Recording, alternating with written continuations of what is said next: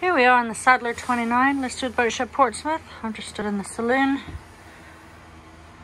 Just got the galley on the port side there.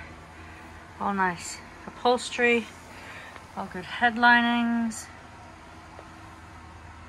Windows look good.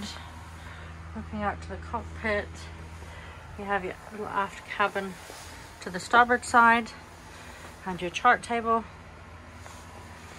Just going forwards, you can see the Holly and teak floorboards there. Good headlinings. Nice tidy boat. You can see she's got her dehumidifier going into the bilge there. Nice sized heads.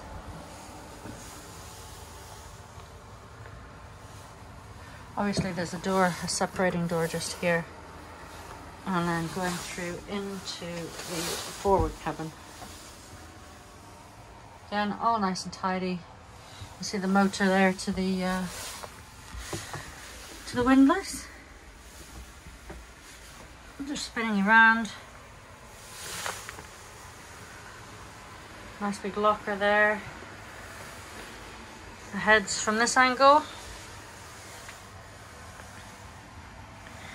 And then taking you back forward or aft really uh, to the companionway and looking back out.